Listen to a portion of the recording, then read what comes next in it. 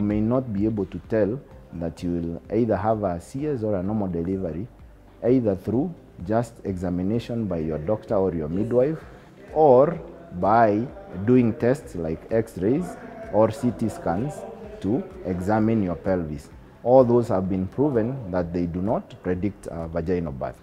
And the reason is simple that the birth can the, the vaginal birth to be achieved there are so many factors that play together in a perfect uh, synchrony to ensure that the birth occurs. And these include one how the baby positions themselves in the birth canal. Two the weight of the baby or the size of the baby. Number three the shape of the maternal uh, birth canal.